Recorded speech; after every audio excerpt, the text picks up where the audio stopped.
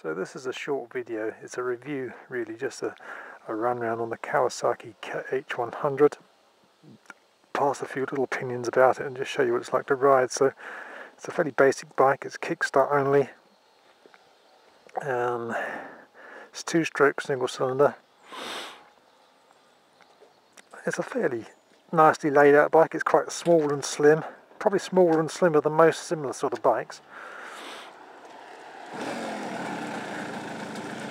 So let's just go for a bit of a ride it. You get a rev counter on this which to me makes it kind of a little bit more sporty than some of the other similar things you can get like the YB100s and the RS, RXS 100s. Although I think the RXS does have a rev counter on it. Anyway, more equipment than some. It's got a top speed of around about 50 miles an hour. Kawasaki made quite a few of these over the years um, but there aren't many left now. Plenty of second-hand bits around, not many bikes.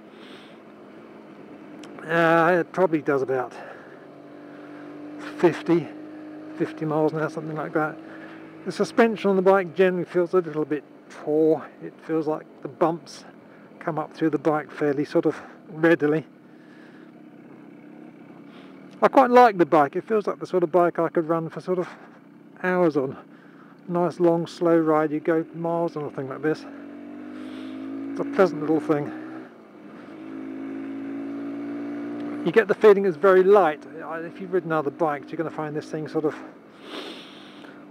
like a mountain bike almost. It just feels skinny light and sort of more suited to low speed this sort of speed anyway if you want to ask me any questions about it go ahead